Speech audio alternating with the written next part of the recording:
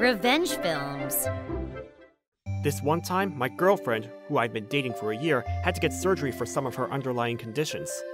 It wasn't a complicated procedure, so she was going to be worked on two days after hospitalization, and be in the hospital for about a week after that, until she was ready to leave. I visited her the day after the surgery. Thanks for coming. I'm so happy you could make it. She greeted me with a smile, and I was happy that she looked better. She was supposed to leave on Monday, but I thought she would be excited if I surprised her the day before with some pastries that she loved. There weren't any other patients in her room, so I figured I'd just see her face and leave if she was asleep. If she was awake, I could see her smile, which would have been a successful surprise. I was imagining her smile as I walked up to her room when I heard a noise from inside. It sounded like creaking sounds coming from her bed, and it also sounded like someone having sex. I couldn't believe what I was hearing, but there was no doubt that it was my girlfriend's voice. I have heard it many times before, so there was no mistaking it. This can't be! I was scared to see what was on the other side of the curtain, but as I got closer, it was even more obvious that they were having sex on the other side. I remembered the last time I visited her. She said, There's this really hot dude who just came in. She was laughing about it back then, but I imagined the worst. Neither one of them noticed me walking up. They were really getting it on. I heard you have a boyfriend, I heard, to which she replied, I don't care about him. In between the moans of pleasure, I had mixed feelings of shock and anger, and I was in panic mode, but I built up my courage to sneak up and wait for the right moment. Right as I could hear them peaking, I blasted open the curtains. Oh, hello there. Sorry to bother you. They noticed my fake smile and were speechless as they laid there together. The boyfriend quickly said, Who who are you? He seemed panicked. Before he could run away, I said to him, This is a hospital. Don't you know you're supposed to be quiet? As I held him down. My girlfriend just watched us, speechless. You could tell by her expression that she was caught red handed. She noticed the box of pastries that I had with me and realized the situation. She started crying in her sheets, but it was too late for me. I heard what she was telling the guy earlier. I just gave her a cold look and said, I don't want to ever see you again. You better not try and call either. And I left the hospital. I never got a call that day. But the next day, she called my parents. My mother, who was clueless, said to me, Hey, Jill called today. Jill had been over to my house often and was close with my mother, who was an outgoing person. She probably called my mom because she knew I wouldn't pick up. Normally I would, but I wasn't ready to talk to her yet. I just told my mother not to worry about it, and I left it be. I continued to ignore her, but she kept calling every night, and my mother was starting to get worried. So one day I picked up and told her, We have nothing to talk about. And she said, No, please, hear me out. She seemed desperate. Only if it's in front of both our parents, I said, knowing that she couldn't agree to that. But I was surprised when she said, Can we leave my parents out of it? I'll talk with your parents, though. I was surprised that she agreed, but thinking it was best that we finished this, I accepted. I'm bringing Jill over tonight. We need to talk, I told my mom, and my clueless parents seemed excited. That night, Jill came over. Good evening, Jill. How are you?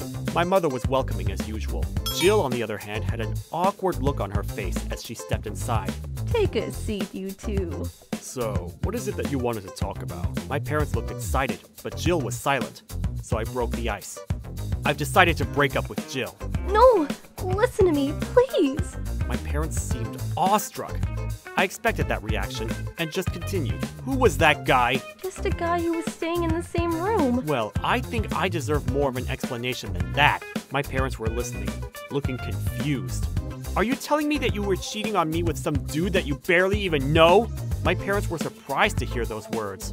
No, I know his name, but he said he's married. So, you were cheating on me with a married man?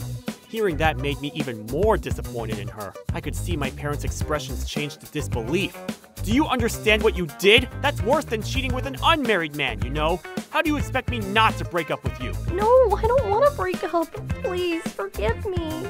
It was enough that she cheated on me, but the other guy was married. That just made it worse. My girlfriend kept begging for forgiveness when my mother asked her, Explain to me what's going on. I could hear her voice trembling. I hate to have to tell my parents these things, but I calmed myself down and explained everything that happened. The other day, when I visited her at the hospital, she was sleeping with another guy. My parents were shocked. I can see why. But you're the one I love, Jack. I had no trust left for this girl who had the nerves to cheat on me and tell me that she loved me.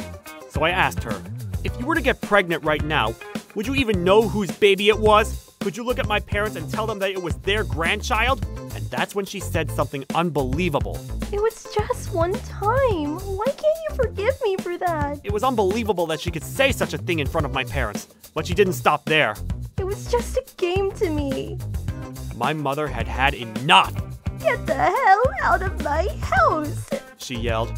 My mother, who was quiet till a moment earlier, started to yell, and it caught me off guard. I just sat there and stared at her for a minute. My father sat there awkwardly. I guess recently my father had been accused of cheating. A famous slut who lived in the neighborhood had had her eyes on him, probably because my dad made a fair amount of money. I heard he had a hard time brushing her off. My dad didn't do anything wrong, but I guess he was a little sensitive to words like cheating at the moment, and he sat there scratching his head. My girlfriend wouldn't stop, and things were getting out of hand. So I called her mom to come pick her up. After a while, she came, but she must have gotten the wrong message. You hurt my baby. You played her. She said to me, she had no clue what kind of girl her daughter was. She believed that I was her first boyfriend. My mom had calmed down while we were waiting for Jill's mom, but exploded after hearing all the accusations towards me, and yelled at Jill's mother. It was my son who was hurt, you bitch and went on to explain to her how I had gone to the hospital to run into her daughter sleeping with another man. Jill's mother listened in disbelief. They're lying, right? You wouldn't do such a thing, would you? She asked. Jill must have just snapped because she replied, I've slept with 10 guys already. She almost looked proud, too. That was five more than even I had heard. Her mother went red with embarrassment. I'm so sorry for what Jill did to you. She apologized and grabbed Jill by the neck and took her home. I could hear my mother sigh in the silent room. Well, at least you guys weren't married yet, right, honey? She looked over for agreement. Yeah, your mother's right. He had no choice but to agree.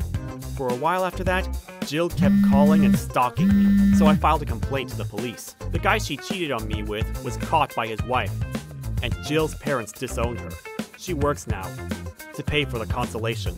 After that, I studied hard and followed in my father's footsteps. My girlfriend was on good terms with my parents, and I saw us getting married. So honestly, I was really shocked. But eventually, I was able to meet somebody new, and now I'm married to my wonderful and supportive wife. I can laugh about it now, but looking back, I was probably just being played for my money. Like my parents said, I'm glad this happened before we got married. She is, after all, the type of person who thinks sex is just a game. How was today's video? If you enjoyed it, please subscribe, like, and leave a comment. Stay tuned for more.